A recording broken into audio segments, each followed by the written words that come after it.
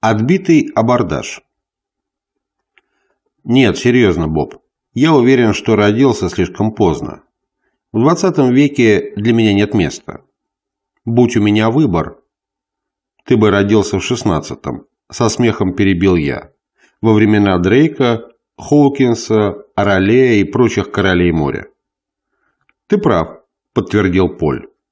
Он лежал на корме и с глубоким вздохом неудовольствия перевернулся на спину. Перевалило за полночь. Мы плыли по ветру по нижнему заливу Сан-Франциско к заливу Фарм-Айленд. Поль Ферфакс и я ходили в одну и ту же школу, жили по соседству и были закадыками.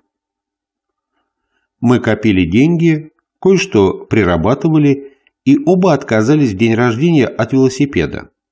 Таким образом, нам удалось собрать деньги на покупку тумана, большой 28-футовой одномачтовой яхты с крохотным марселем и каютой. Отец Поля имел яхту и занялся нашим делом. Он подыскивал и осматривал подходящее судно, вонзал свой перочинный нож в дерево мачт и старательно исследовал обшивку. На его ташхуне «Каприз» мы, Поль и я, познакомились с управлением парусами, а теперь, когда туман стал нашей собственностью, мы всеми силами старались пополнить наши сведения о мореплавании. Туман, благодаря своей ширине, был удобной и вместительной яхтой. В каюте человек мог стоять во весь рост. В нашем распоряжении была плита, кухонные принадлежности и койки. И мы могли уйти в плавание на целую неделю. Мы только что пустились в первое плавание, и потому плыли даже ночью. К вечеру мы оставили Окленд и находились теперь в устье реки Аламеда. Это была широкая соленая лагуна, соединяющаяся с заливом Сан-Леандро. «Эх, в те дни люди жили по-настоящему», — сказал Поль так неожиданно, что перебил течение моих мыслей.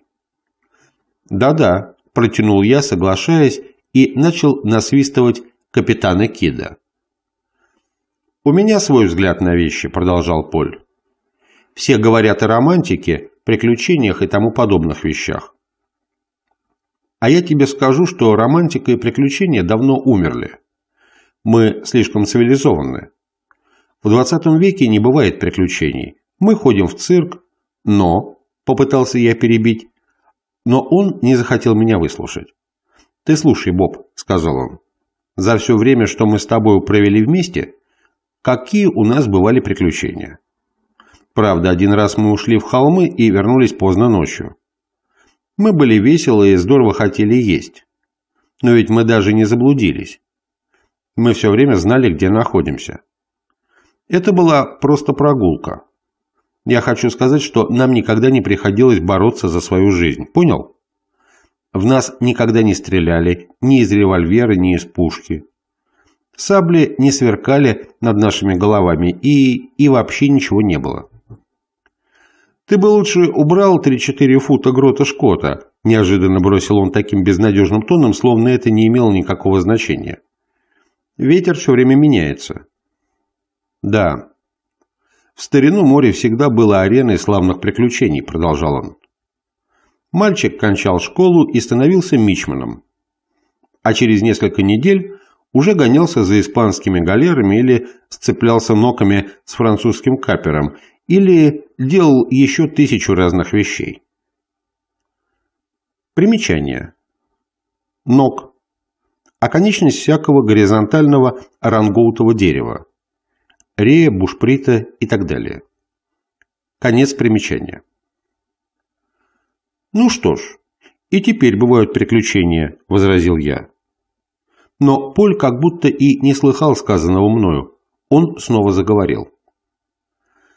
А теперь мы переходим из школы в колледж, а из колледжа в университет. Потом поступаем в контору или делаемся докторами или еще кем-нибудь. А о приключениях знаем только из книг. И я уверен, свались на нас какое-нибудь настоящее приключение, мы бы не знали, что предпринять. Это так же верно, как то, что я сижу здесь на корме одномачтовой яхты «Туман». А как, по-твоему? Да я не знаю, уклончиво ответил я. Но ведь ты бы не струсил, а? Спросил он. Я был уверен, что не струшу, и так ему сказал. Но ведь можно трусом и не быть, и все-таки потерять голову, верно? Я согласился. Конечно, и храбрецы могут волноваться. В таком случае, заключил Поль с ноткой сожаления в голосе, мы рискуем испортить все приключение. А это стыдно. Вот все, что я могу сказать по этому поводу. «Да ведь никакого приключения еще нет», — сказал я, не желая спорить с ним из-за пустяков. Дело в том, что у Поля были какие-то странности. А я знал его очень хорошо. Он много читал, у него было пылкое воображение и иногда на него нападало такое настроение. Поэтому я сказал, никакого приключения пока нет, и не стоит беспокоиться, что мы его испортим. Кто знает, может, все обернулось бы великолепно. Поль несколько минут молчал, и я подумал, что он рассердился. Но вдруг он снова заговорил. «Ты только представь себе, Боб Келлог. Вот мы плывем, и вдруг на нас нападает вооруженное судно. Как бы ты справился, а? Ты бы оказался на высоте положения? Как ты думаешь? А что бы ты сделал? Схитрил я. Не забудь, что у нас на борту нет ни одного ружья. Так ты бы сдался? С досадой спросил он. Ну, допустим, что они хотели бы тебя убить. Я не говорю, что я бы сдался, холодно ответил я, начиная уже сердиться. Я спрашиваю, как бы ты поступил, не имея под рукой никакого оружия? «Я бы что-нибудь придумал», — ответил он. Ответ меня не удовлетворил, и я захохотал. И значит, приключение обошлось бы благополучно, правда? Ну так ты вздор городил. Поль зажег спичку, посмотрел на часы и заметил, что уже около часа. Так он всегда поступал, если дело поворачивалось не в его пользу. Кроме того, мы еще никогда не были так близки к ссоре, хотя в ранние годы нашей дружбы не раз спорили и дрались. Я только что заметил маленький белый огонек впереди, когда Поль снова заговорил. «Судно на якоре», — сказал он. «Странное место они выбрали для стоянки. Должно быть, это плоскодонная шхуна. Лучше ты обойди ее да подальше». Я повернул руль на несколько румбов. Ветер надувал паруса, и мы быстро неслись вперед, обогнув фонари шхуны на таком большом расстоянии, что даже не могли хорошенько ее разглядеть. Вдруг туман незаметно замедлил ход, словно врезался в ил. Мы были оба поражены. Ветер дул сильнее, чем когда-либо, а мы едва продвигались вперед. Неужели илистая мель? Никогда не слыхивал об этом –— воскликнул Поль, недоверчиво фыркнув и, схватив весло, опустил его за борт. Оно опускалось свободно, пока вода не смочила руки Поля. Дна не было. Тут мы оба были как громом поражены. Ветер свистел, а туман продвигался со скоростью улитки. Что-то мертвое чувствовалось в нем, и я, стоя у румпеля, мог только удерживать его от поворота по ветру. «Слушай, я положил руку на плечо Поля. До нас донесся скрип уключены. И мы увидели совсем близко от нас маленький белый огонек, прыгающий на волнах. «Ну вот тебе твоя вооруженная лодка», — в шутку шепнул я. «Размести свою команду на корме и готовься отразить абордаж». Мы оба расхохотались и продолжали еще смеяться, когда из темноты поднялся дикий угрожающий крик. Приближавшаяся лодка скользнула к нашей корме. При свете фонаря, к ней прикрепленного, мы могли отчетливо разглядеть двух мужчин. Они выглядели иностранцами. Солнце покрыло бронзовым загаром их лица. На головах у них по морскому обычаю красовались вязаные колпаки. талии были охвачены яркими шерстяными шарфами, а ноги обуты в высокие морские сапоги. До сих пор помню, как холодная дрожь пробежала у меня по спине, когда я заметил в ушах одного золотые сережки. Мужчины походили на пиратов, сорвавшихся со страниц романа. А в довершение сходства их лица были искажены гневом, и каждый размахивал длинным ножом. Оба что-то пронзительно выкрикивали, но мы не понимали незнакомого жаргона. Один из них, поменьше ростом и, пожалуй, более злобный на вид, схватился руками за поручни тумана и стал карабкаться на борт. Поль, быстрый как стрела, приложил к его груди конец весла и отпихнул назад в лодку. Он упал навзничь, но скоро оправился и вскочил. Размахивая ножом, он крикнул «Ты порвал мою сеть! Ты порвал мою сеть!» И он продолжал говорить что-то на своем жаргоне. Его товарищ присоединился к нему, и оба готовились повторить попытку влезть на борт тумана. Я начал уяснять себе положение и крикнул.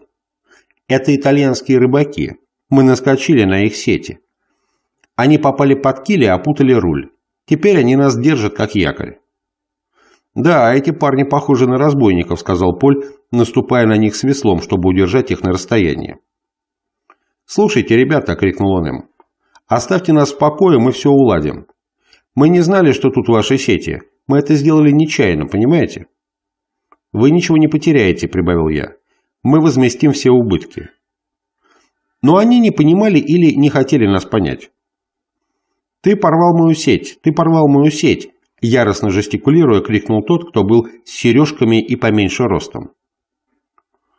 На этот раз, когда Поль отпихнул его назад, он схватил весло руками, а его товарищ вскочил на борт.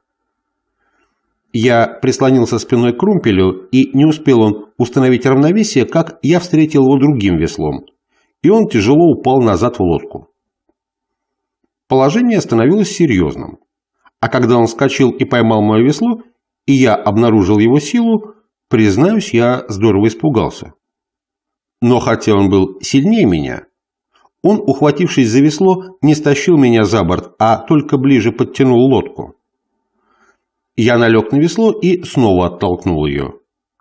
Кроме того, он все еще держал в правой руке нож, который стеснял его движение и мешал ему пустить в ход всю свою силу. Поль и его противник находились в таком же положении. Это было нечто вроде мертвой схватки. Она тянулась уже несколько секунд и не могла продолжаться долго. Несколько раз я кричал, что мы заплатим за все повреждения, какие причинили их сетям. Но, казалось, мои слова не производили ни малейшего впечатления. Затем мой противник подсунул весло под мышку и стал медленно подтягиваться вверх. Маленький проделывал то же с полем. С каждой секундой они продвигались все ближе и ближе, и мы поняли, что развязка является только вопросом времени. «По ветру, Боб!» – тихонько крикнул мне Поль. Я быстро оглянулся на него и мельком увидел очень бледное лицо и плотно сжатые губы. «О, Боб!» – взмолился он. «Руль по ветру! Руль по ветру, Боб!» И тут я понял. Все еще держась за конец весла, я прислонился спиной к румпелю и налег всем телом, чтобы повернуть его. Все это время туман стоял почти неподвижно против ветра. А этот маневр должен был перенести грот с одного борта на другой. Я чутьем мог определить, когда ветер надул паруса и рей накренился. Тем временем противник поля поднялся на маленькую палубу, а его товарищ карабкался вслед за ним. «Осторожно!» – крикнул я Полю. «Идет!» Мы оба бросили весла и отступили в кубрик. Через секунду большой рей и тяжелые блоки пронеслись над нашими головами, а затем взвился грот-шкот, как огромная свернувшаяся кольцами змея. Туман с треском накренился. Мужчины отскочили в сторону, но каким-то образом один из них, пониже ростом, стиснул рукой нож, либо наткнулся на него. Когда мы увидели его, он стоял в лодке, крепко зажав между колен окровавленные пальцы. Лицо его было искажено болью и беспомощным бешенством. «Теперь победа за нами», — шепнул Поль. «За борт». Мы оба спустились в воду по обе стороны руля и начали отбрасывать ногами сети, пока, наконец, они не соскочили. Тогда мы поднялись на борт. Поль стал у грота Шкота, а я у румпеля. Туман свободно несся вперед, и маленький белый огонек за кормой становился все меньше и меньше. «Ну как ты себя чувствуешь после нашего приключения? Лучше?» Помнится, спросил я, когда мы переоделись в сухое платье и сидели в уютном кубрике. «Ну, если меня не будут преследовать по ночам кошмары, по крайней мере, неделю». Тут Поль приостановился и серьезно сдвинул брови. Но только потому, что я не смогу заснуть. В этом я уверен.